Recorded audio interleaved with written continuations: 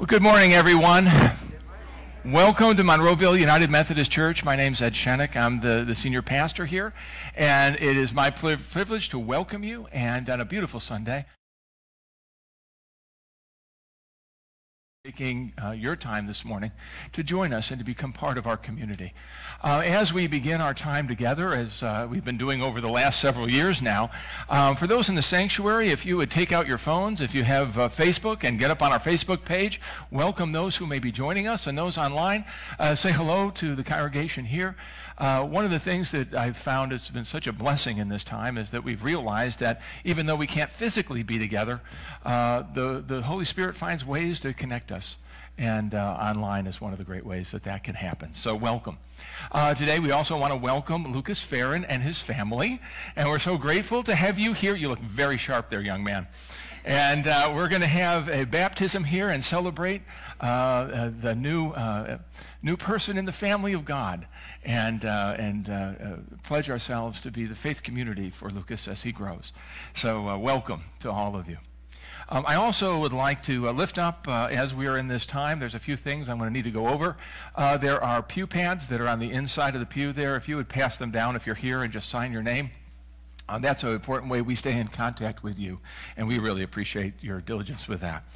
Um, a couple things going on today. Um, we have a new district superintendent, Paul Ritchie, and uh, Reverend Ritchie is going to be installed this afternoon at 3 o'clock at Harrison uh, United Methodist Church, Community United Methodist Church in Harrison City.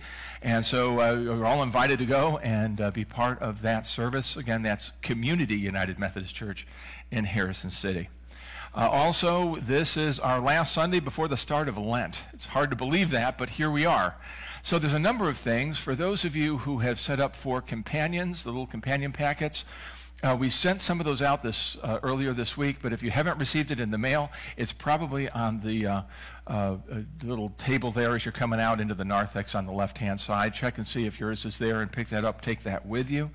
Um, this Wednesday will be our Ash Wednesday service at 7 o'clock, and we will have that here in person, also online if you wish to join us. And this week, uh, actually a week from today, uh, if all goes well, there's a group of us that should be either landing or in uh, Jerusalem, in Tel Aviv, actually, in, in, in Israel. And so, uh, as part of our Lenten journey, uh, those of us who are going are going to be doing two things to help you journey with us as we journey with Jesus. Uh, one is that uh, we will be going to the Wailing Wall. some of you may know there's an existing wall of the old temple. And there, people will go and they'll bring slips of paper with prayers. And they will pray uh, by that wall and in that courtyard. It's a very sacred space. Um, we are inviting, if you would like to have us take a prayer for you, there are uh, slips of paper there on the table on the right hand side as you're heading out uh, of the service today. Um, and uh, if you could drop them in the basket there, we will take them with us and bring them to the Wailing Wall for you. Uh, if you're online, uh, we're going to ask you to make a very small, uh, short prayer because we can't. There, we don't have room for big pages, but just little slips. Um, if you'd like to send that to us, email, or if you would like to um, uh, mail that to us, do that right away if you would, because we want to make sure we, we, take that with us. But that's one way that we'll be in touch um, through that time. Also, uh, we're going to hopefully uh, we just upgraded cell phones and everything. Uh, would like to get up on Facebook on Live. So uh, if you can check during the week during Facebook Live over the next two weeks, uh, hopefully we'll have installments of the, some of the different places. You can take pictures. We'll be taking pictures of that, reading Scripture, so that you can journey with us as we go. So that group will be leaving next Saturday, and um, I'm going to ask you to be in prayer for us as we journey. Um, that all will go smoothly, and uh, that uh, God's Spirit will guide. Two other things that I want to lift up to you. Number one, our uh, outreach uh, committee is doing hygiene kits. Those are going to UMCOR. And for those who have lost everything, it may be from hurricanes, it may be from floods, it may be uh, right now in the midst of war. Uh, but those kits go out and uh, will be taken to places where people have lost everything.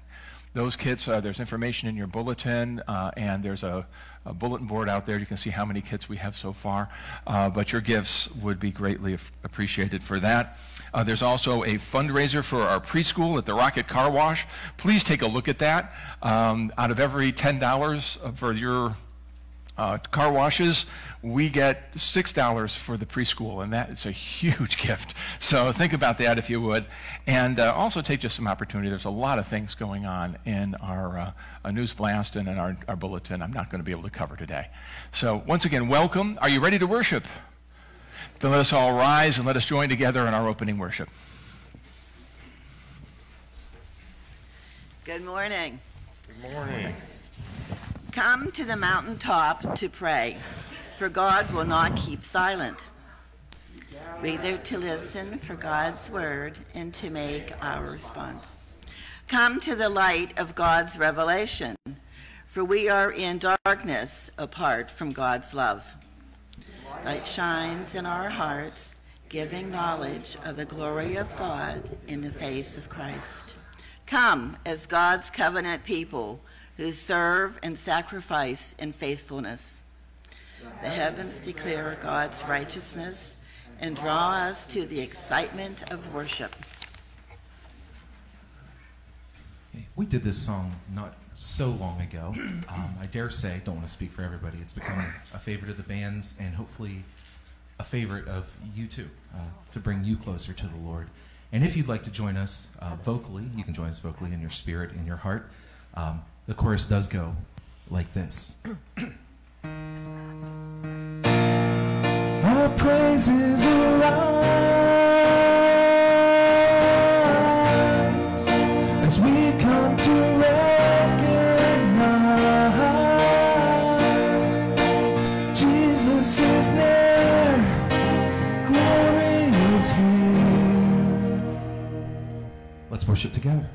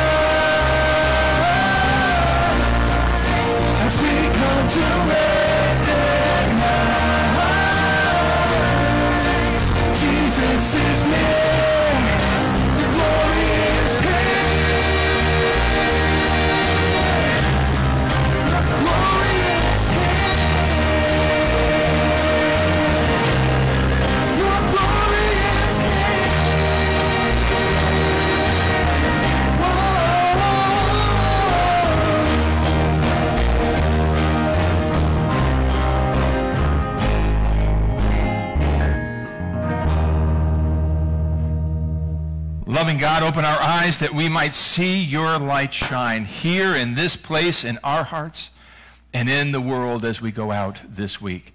Fill us, Lord, with your light that it would shine through all we do. In Jesus' name we pray. Amen. Thank you, everybody. Please be seated. Kids, come on up. You're already up here.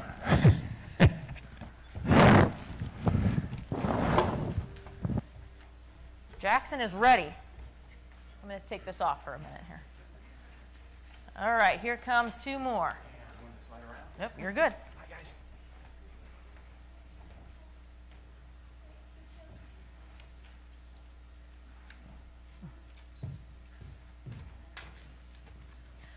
All right, how's everyone doing? Good. You had a good week? Yeah. Okay, I'm not completely convinced you had a good week based on that, yeah, but we'll, we'll go with it. Okay, so um, I have a story from the Bible to tell you today. Okay, Jesus is, the disciples and Jesus are, are around each other, and suddenly, like a light shines, and it's Jesus with Moses and Elijah. And Moses and Elijah had already, they were around a long time ago, they weren't around anymore. But they're standing with Jesus, and there's all this light and they're so amazed at what they're seeing. And it was one of these mountaintop experiences. So, a mountaintop experience is when something happens with God that just it brings you so much joy and you're just so happy about following God.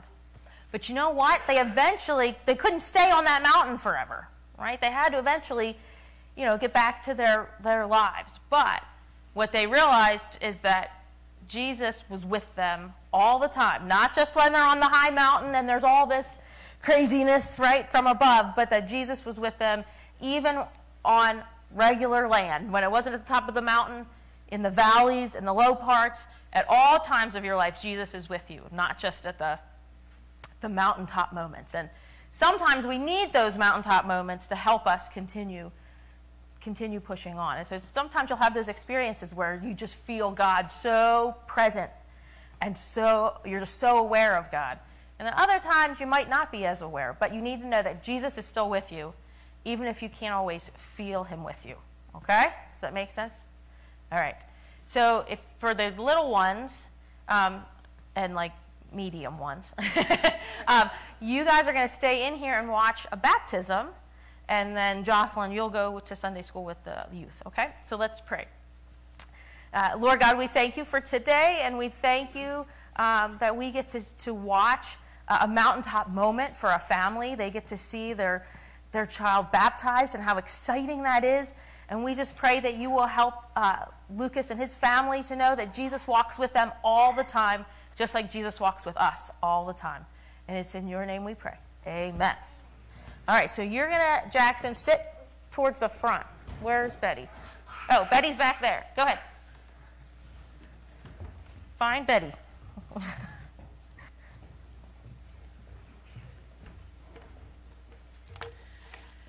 Today's scripture lesson is found in the Second Corinthians chapter 3, 16 through chapter 4, 2, and I will be reading from the message. Whenever, though, they turn their face to God as Moses did, God removes the veil, and there they are, face to face. They suddenly recognize that God is a living, personal presence, not a piece of chiseled stone. And when God is personally present, a living spirit, that old constricting legislation is recognized as obsolete. We're all free of it all of us. Nothing between us and God. Our face is shining with the brightness of his face. And so we are transfigured much like the Messiah, our lives gradually becoming brighter and more beautiful as God enters our lives and we become like him. Trial and torture. Since God has so generously let us in on what he is doing, we're not about to throw up our hands and walk off the job just because we run into an occasional hard time. We refuse to wear masks and play games. We don't maneuver and manipulate behind the scenes. And we don't twist God's word to suit ourselves. Rather, we keep everything we do and say out in the open, the whole truth on display, so that those who want to can see and judge for themselves in the presence of God. This is the word of God. Thanks be to God.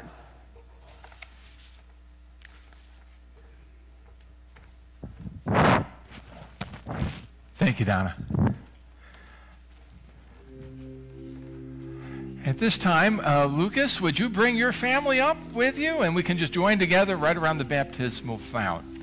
And for those who are in our congregation at this time, if you would pull out this little green sheet that is in your bulletin, um, this service is a service that is for Lucas, for his family, as we celebrate God's gift in Lucas and celebrate their love for him.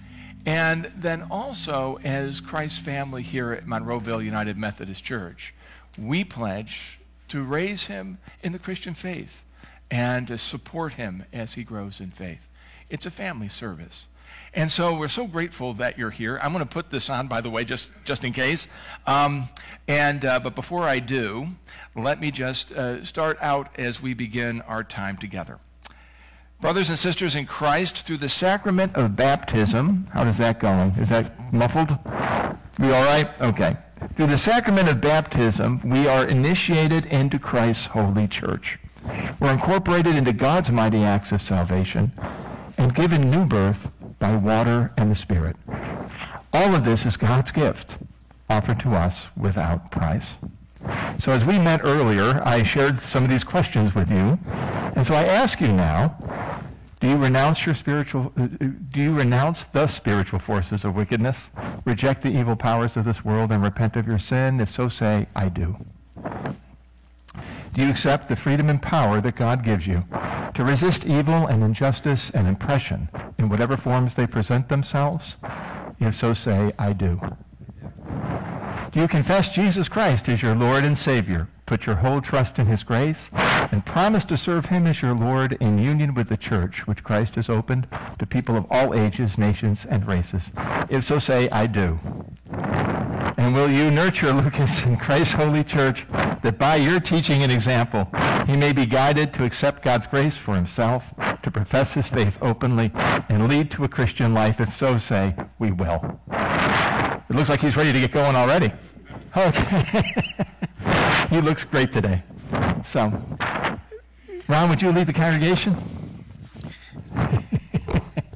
Do you, as Christ's body, the church, reaffirm both your rejection of sin and your commitment to Christ?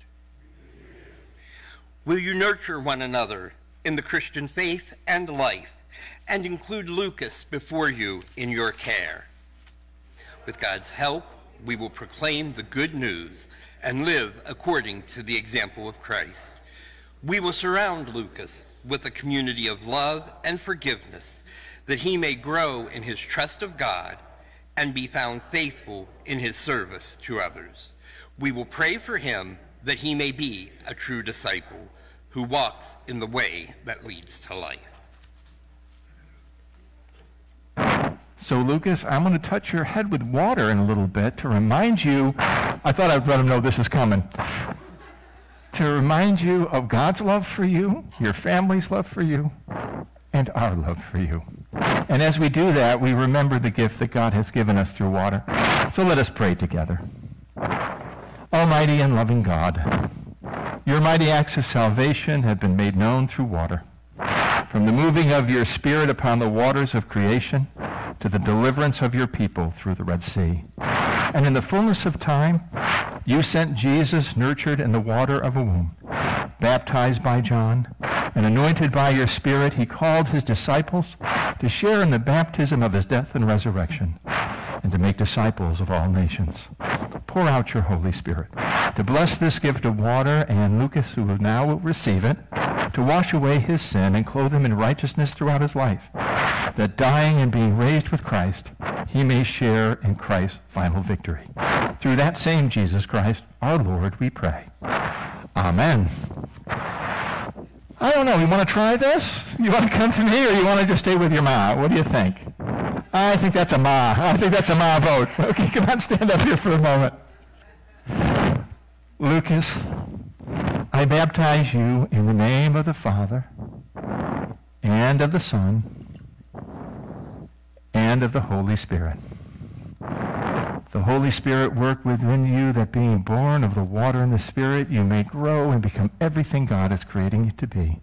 In Jesus' name, amen. Welcome to the family, Lucas. Can we welcome Lucas to the family? he did very well. I think once he knew he wasn't coming into my hands, he was good. So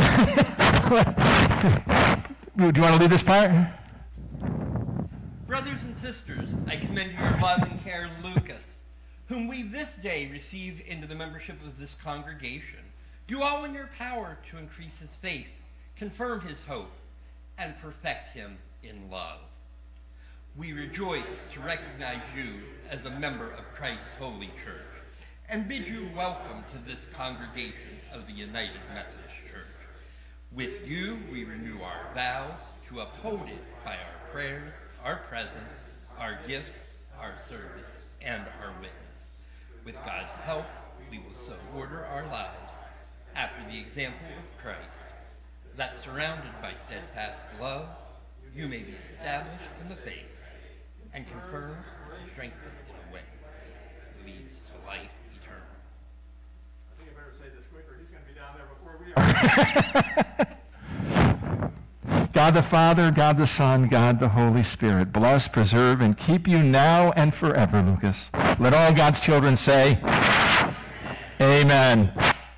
Again, welcome. And one of the traditions we have, if you're okay with that, and if he wants to walk down, he may want to do that. Um, could, would you be willing to just kind of show, and we can introduce you to the congregation, introduce Lucas.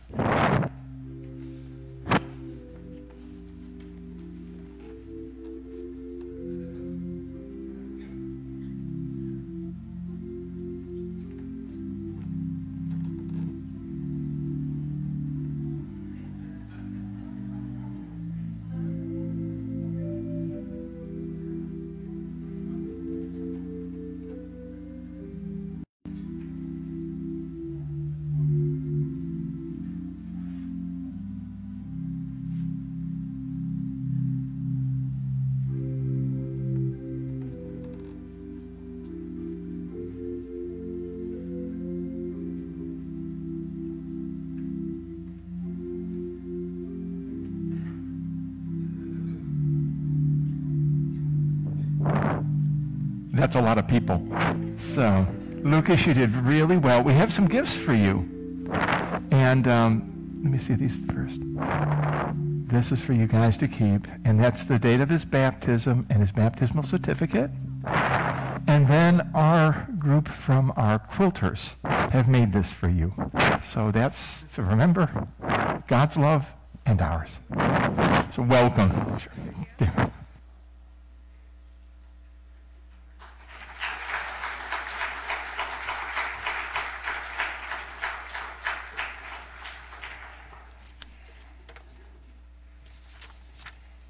Let us continue with a time of gratitude. The time of gratitude is something we have done since the beginning of COVID, and it's a time where we give thanks for all that God has given us, all that we are blessed with, and all that we in turn are able to give back to God. The past few weeks we've tried to change that up a little bit, and yet again today, our time of gratitude is going to be a little bit different. First, I want to offer a huge thanks and my heartfelt gratitude for those that come out yesterday. Our brothers and sisters in Ukraine are suffering and hurting. And we here at MUM were in prayer for them yesterday. And it was a wonderful opportunity to set in the silent sanctuary with a soft hymn playing in the background, or if you were lucky enough to be here when the Ukrainian worship chant was playing was really cool.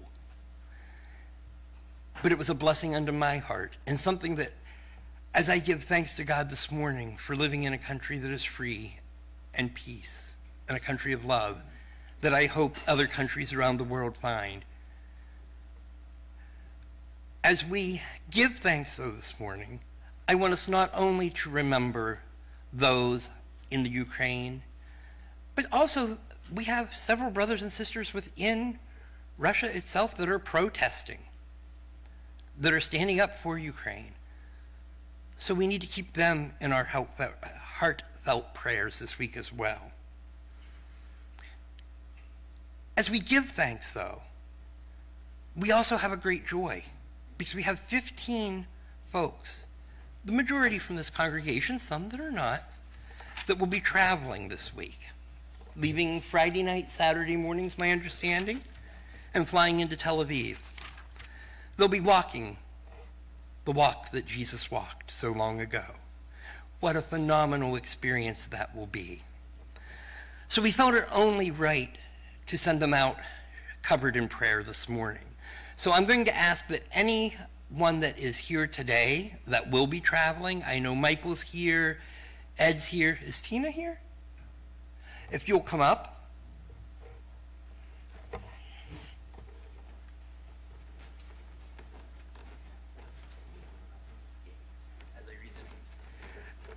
As I read the names of those that will be traveling, we've got a candle on the altar that will be lit in prayer. That candle will be lit for every Sunday they are gone until they're home safely with us because this is a phenomenal opportunity for each of them, but also a very troubling time in the world we live in. Those that will be going are Pastor Ed, Alicia, Tina, Michael, Lori, Tammy, Sharon, Lois, Pat, Alita, Pam, Betty, Ruth, Joshua, and Paulette.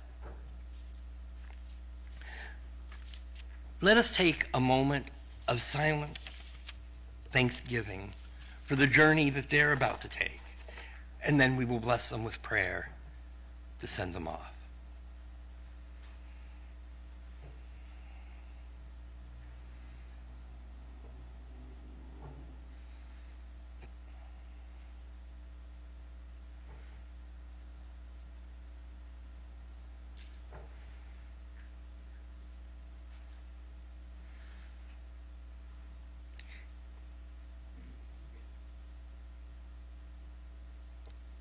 In pre COVID days, I would have invited you, the congregation, to have joined me at the altar and laid hands. However, in the midst of COVID, I don't feel that that is the appropriate thing to do. So I would ask you just to reach out a hand toward those at the altar and the lit candles as we pray. Lord and Father God, may your Spirit work within and surround those that are traveling to Jerusalem this week. May the opportunity be that of a lifetime.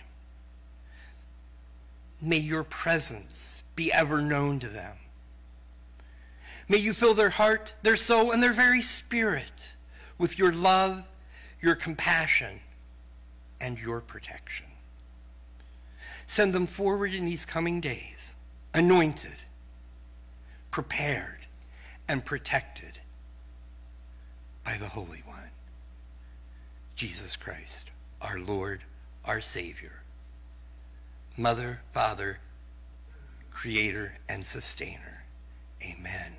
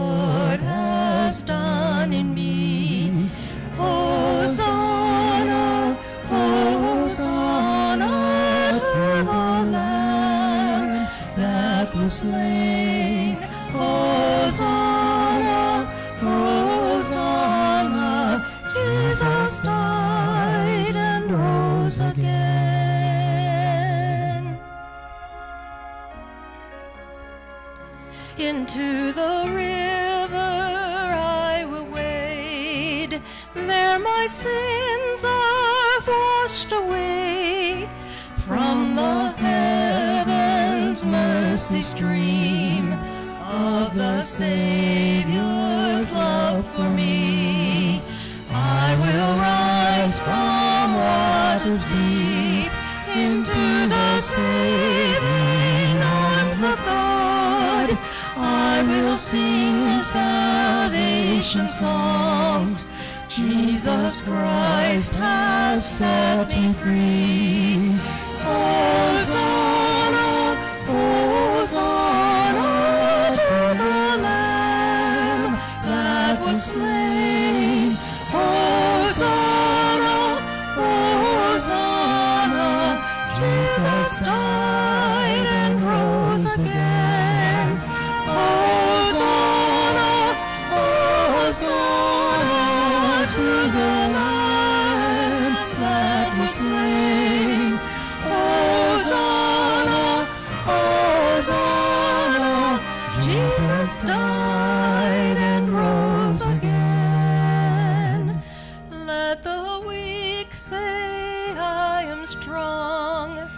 Let the poor say, I am rich. Let the blind say, I can see. It's what the Lord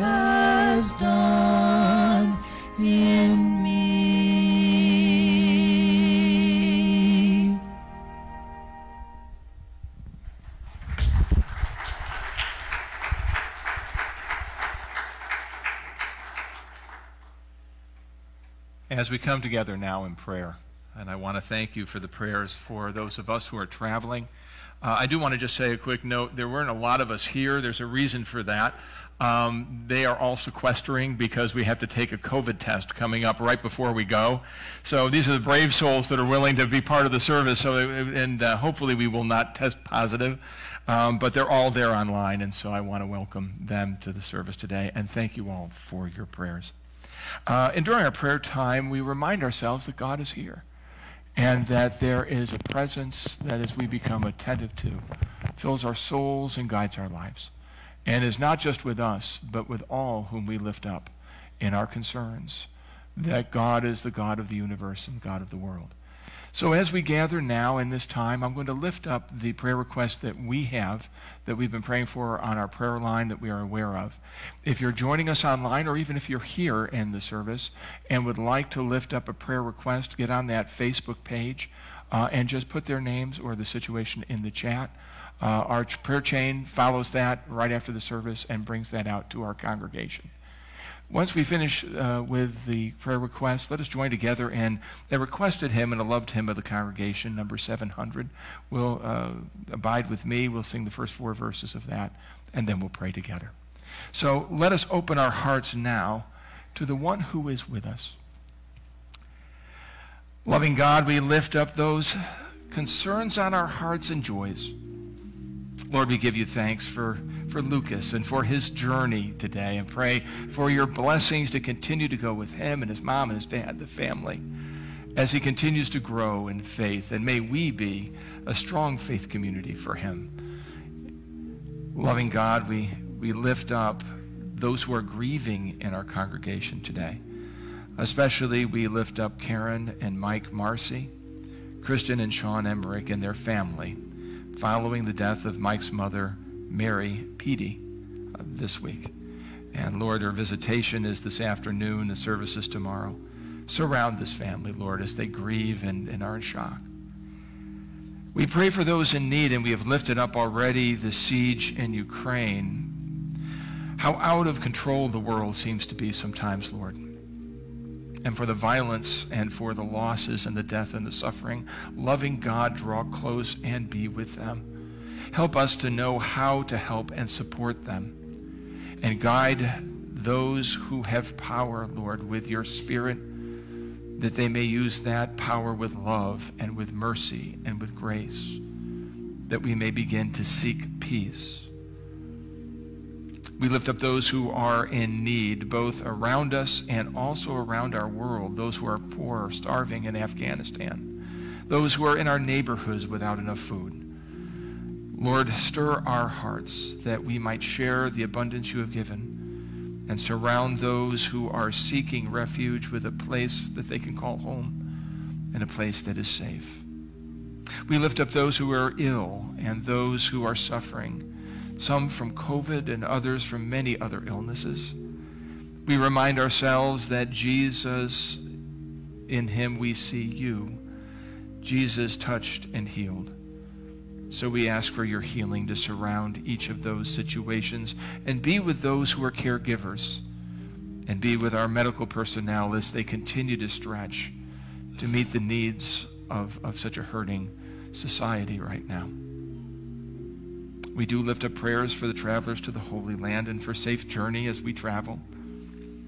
We lift up specifically Grace, Corrine, Bill, Diana, Allison, Cliff, Harriet, Diana, Jane, Rob and Claire, Harry, Marlene, Val, Carl, Jack, Dot and Leroy, Don, Sean, Sam, Julie, Jeremy, John, Megan, and Tanya. And those who are being named now, both on our chat line and also those being lifted up silently in our hearts. Surround each one with your care, your love, and your grace. We pray.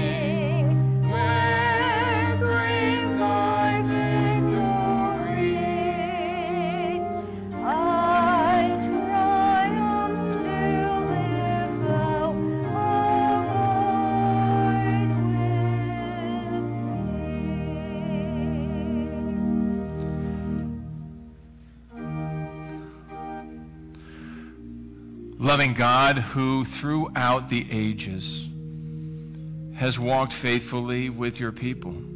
It is you who created us. It is you who has redeemed us in a love that will not let us go. And it is you who journeys each day and each step we take with us and with all your children. In the midst of this world, Lord, we make bad decisions. In the midst of this world, we face brokenness. In the words of this world, there are injustices. There are things that are violent and frightening.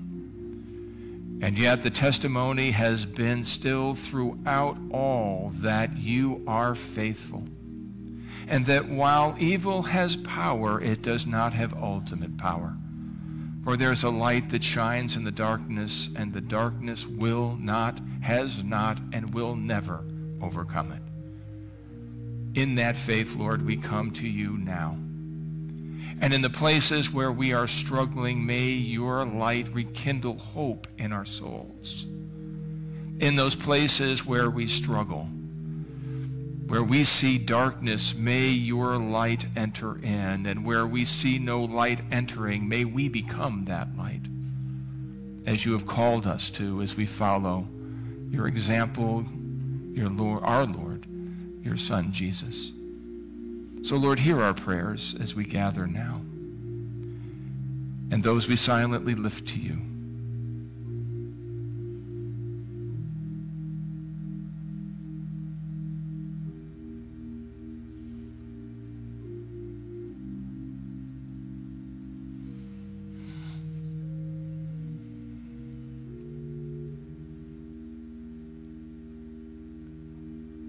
God of faithfulness and love, empower us with your Spirit now, that we might trust your light in our hearts, in others, and in your world. Shine brightly, Lord, that all may know the good news of Jesus Christ our Lord, who has taught us to pray together by saying, Our Father, who, is art, who art in heaven, hallowed be thy name. Thy kingdom come, thy will be done, on earth as it is in heaven. Give us this day our daily bread, and forgive us our trespasses, as we forgive those who trespass against us. And lead us not into temptation, but deliver us from evil.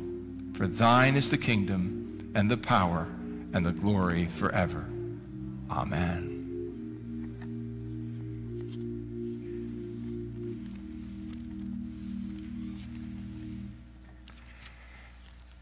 Today is sort of a day in between in our church year.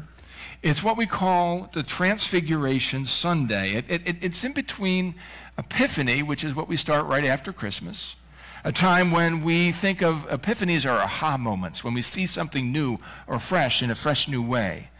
There's this child who was born in Bethlehem, and the question up till now has been, who is this Jesus? And as the Spirit and as we move through each year, we, we hear that Jesus is the Messiah. The light shines, and we begin to see anew that Jesus is the Messiah. Lent shifts us, and that's what we start next week. From the question here is, what is the Messiah going to do? And what we find is that the Messiah is going to bring salvation, but in a way that nobody expected at the time. God doesn't do things the way we often think God should. So our scripture of this reading parallels that in-between time, the first half of the gospel, the stories of healings and miracles, and the question, who do you say I am, has just been asked of Jesus to the disciples.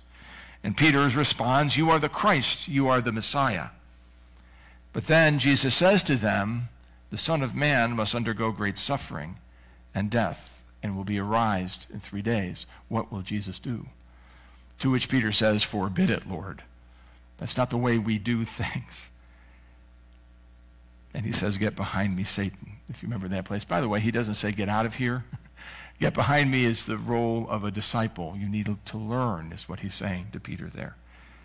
This is the very next story, and it starts in Luke chapter 9. I'll be starting with verse 28. Let us open our hearts that we might hear God's word for us. Now, about eight days after these sayings, Jesus took with him Peter and John and James and went up to the mountain to pray. And while he was praying there, the appearance of his face changed, and his clothes became dazzling white. And suddenly they saw two men, Moses and Elijah, talking with him. They appeared in glory and were speaking of his departure, which was about to, he was about to accomplish in Jerusalem. Now Peter and his companions were weighed down with sleep, but since they had stayed awake and they saw his glory, and the two men who stood with him, and just as they were leaving him, Peter said to Jesus, Master, it's good for us to be here. Let us make three dwellings, one for you, one for Moses, and one for Elijah, not knowing what he said. And while he was saying this, a cloud came and overshadowed them, and they were terrified as they entered into the cloud. And then from the cloud a voice that said, This is my son, my chosen. Listen to him. When the voice had spoken, Jesus was found alone, and they kept silent. And in those days told no one of any of the things they had seen. The word of God for the people of God. Thanks be to God. And while he was praying, his face changed, and things became a dazzling white. And suddenly they saw Elijah and they saw Moses there. And a cloud came and overshadowed them, and they were afraid. And a voice boomed out and said, This is my son. Listen to him. Wow. That's a picture. It's a picture that's painted of a time to come, but it's a picture that's pretty overwhelming. Something major is going on here as you read this in the scripture. And there is a lot that's going on. It has to do with who Jesus is. This is my son, says God the Father. It's not by accident that this occurs right after Peter's confession. You are the Christ. It confirms that. This is my son. This is the Messiah.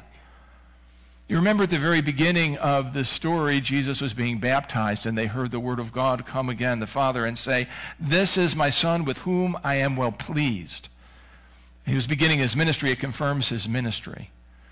Here, this is my Son. Listen to him. Confirms his passion. It's that transition place and where he will go. And Elijah and Moses are there, and they're talking with him about his journey into Bethlehem, into a cross, and how he's to do that. What Jesus is about to do isn't apart from the law and the prophets, it fulfills it. This transfiguration time, I think, is a critical place. And I view it almost as a little Easter. It's an opportunity to see that the power of God does break through. It's an opportunity to see the light that shines in the darkness and to have the confirmation of God that says, yes, this is what will happen. Listen to him. The Son of Man, the Messiah, who you think is going to go and lead this big insurrection and take over the Roman government, is actually going to go to a cross and die, and you're going to think everything's wrong. But listen to him there will be three days, and he will rise. The light shines in the darkness, and the darkness will not overcome it. Look at the brightness and take it in your heart because things are going to get rough, and you're going to need to hold on to hope. A hope that goes deeper, a hope that will bring you through. I think this is a really important place to see the light and to take it with them. This is my son. Listen to him. And it comes right after Peter's refusal to hear it. The Son of Man must suffer and die and be raised again. Forbid it, Lord. Who of us would say anything different? That's not the way God's supposed to be.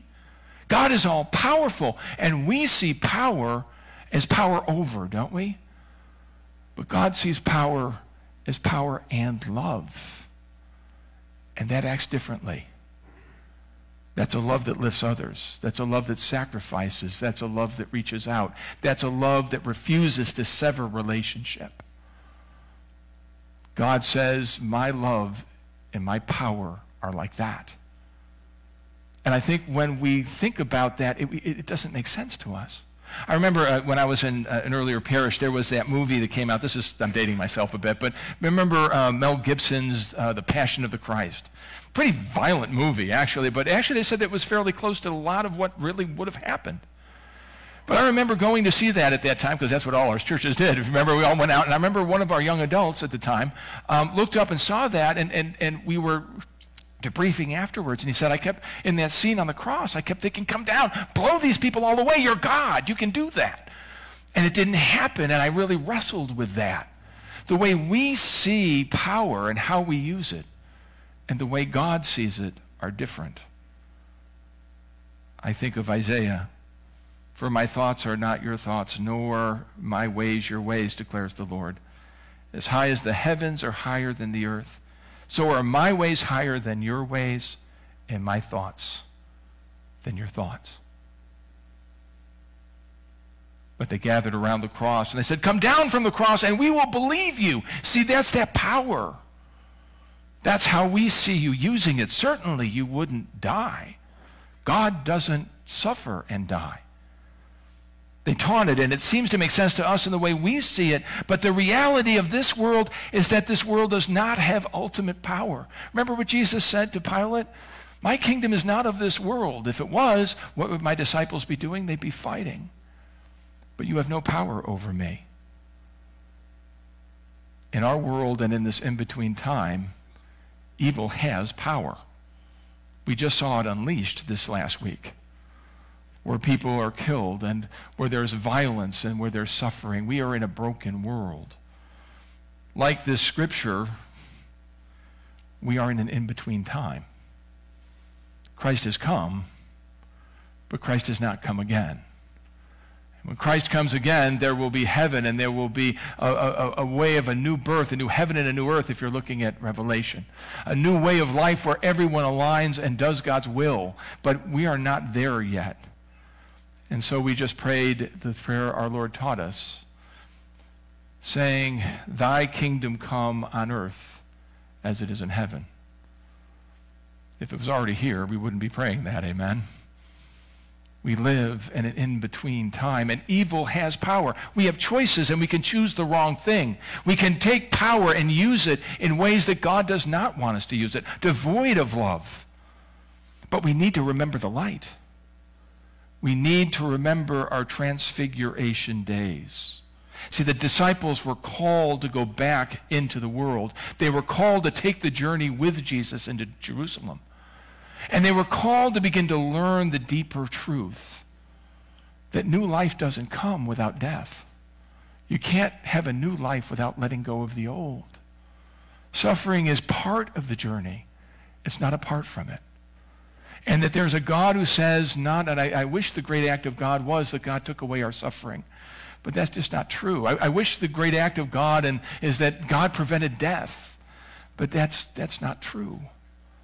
The great act of God that we profess is that God meets us in the valleys of the shadow of death, remember, and leads us through. That there is a Christ that goes to a cross, and there's that empty space in between, that dark night of the soul where we don't know, but there is a celebration on Easter Sunday because the light will shine in the darkness, and the darkness will not overcome it. Amen. That's what our faith is about. I was looking at a video. I was going to run it, but it was a little bit too long, unfortunately, today, by, by uh, Lutheran pastor, author, and theologian. Her name is Nadia Bolz-Weber. And she has a, has a video that's out called Defiant Hope, and I love it. And she talks about the basic confession. She said the basic confession of the Christian faith has to be that the light shines in the darkness, and the darkness cannot, did not, and will not overcome it. It's what we're about. She said it's not a vapid optimism that's, that's void of any type of, of, of power. This kind of happy thinking where we choose not to see the evil things in the world and just be optimists. But hope is different. She said it has a defiance to it. It says, yes, I see the evil and the injustice, and yes, I see the violence, and yes, I will respond to it, but there's deeper things going on here.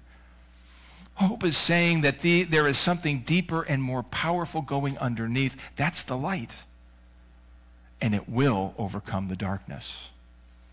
It's a choice of will, it's a choice of stepping into it, and a choice that makes all things new. That's the testament of our hope, our light, and our faith. So what does this all mean to me? I honestly I think there are days when I feel like a disciple at the foot of the cross. Have you ever been there? It's where it looks like evil is won, where we see suffering and we feel powerless to stop it, where we have situations that we can't seem to get ourselves out of, but we've got to get through, days where it seems like things are lost. There are days I feel like that. And I don't think I'm alone in that. We, we, we want peace, but we want it our way. We want God's will, but we want it our way. And it doesn't happen. Like these last days as I watched an army march into Ukraine, as I see the violence that goes on in the Holy Land, when I see the violence that goes on in our streets, and the hatred that I hear. There are days where it feels like I'm at the foot of the cross. And yet, there is a hope. There is something deeper going on here. And that's what we believe. That the light shines in the darkness and the darkness will not overcome it. And yes, I saw an army marching into Ukraine and I saw people coming around to support in every way. I get a call from my lay leader going, hey, can I open the church for a prayer meeting?